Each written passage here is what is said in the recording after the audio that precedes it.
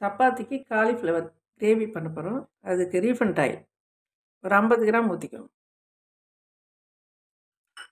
எண்ணெய் காயிடும் கடுகு போட்டுக்கலாம். கடுகு பொரியட்டும்.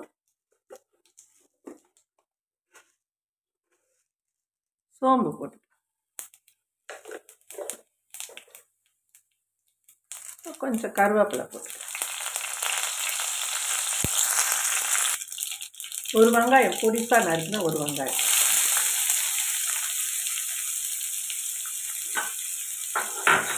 எல்லாம் ஒன்றா வதக்கலாம்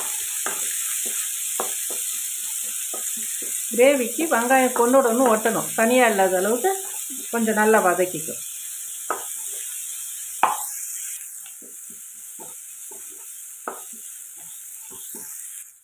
நல்லா இந்த அளவுக்கு வதக்கும்.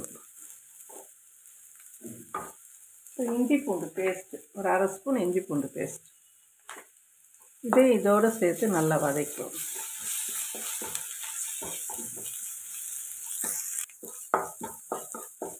இதோட இந்த அளவுக்கு வதக்கிக்கோங்க. இப்போ காரம் போட்டுக்கலாம். மிளகாய்த்தூள் ஒன்றரை ஸ்பூன் மிளகாய்த்தூள் தனியாத்தூள் ஒன்றரை ஸ்பூன் மஞ்சள் பொடி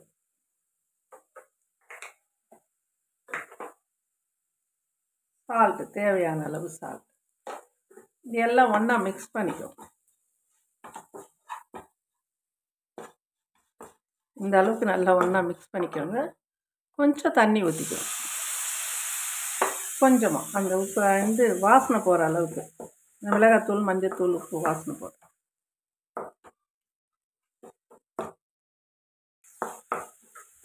இந்த அளவுக்கு வதைக்கும் நல்லா தொக்காக வந்திருக்கும். இப்போ வந்து காலிஃப்ளவர் போட்டுக்கலாம். ஒரு காலி சின்ன காலிஃப்ளவர் ஒன்று சுடுதண்ணியில் போட்டிருக்கேன். உப்பு மஞ்சத்தூள் போட்டு சுடுதண்ணியில் வேக வச்ச காலிஃப்ளவர் இது. இதோடு சேர்த்து மிக்ஸ் பண்ணிக்கும்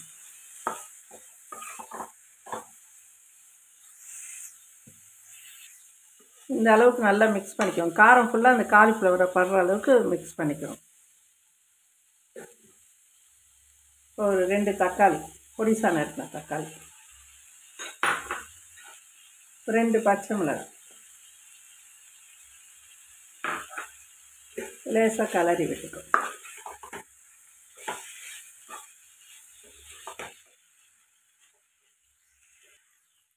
இப்போ கொஞ்சம் தண்ணி ஊற்றிக்கோ இதுவும் இதோட சேர்த்து நல்லா மிக்ஸ் பண்ணிக்கோ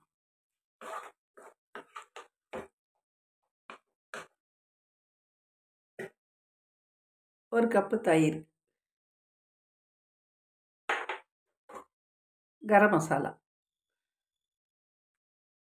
இதையும் இதோடு சேர்த்து மிக்ஸ் பண்ணி.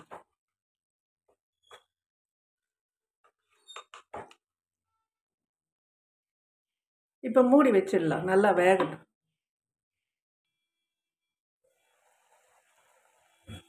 காலிஃப்ளவர்லாம் நல்லா வெந்துச்சு இப்போ நல்லா அது மேட்ச் பண்ணி விட்டுறோம்.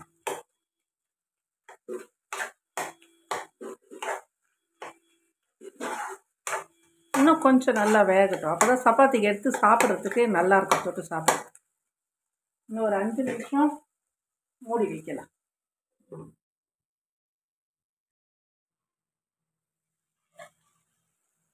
காலிஃப்ளவர்லாம் நல்லா வெந்துடுச்சு. இப்போ கடைசியாக நம்ம தேங்காய் பால் ஊற்றிக்கலாம்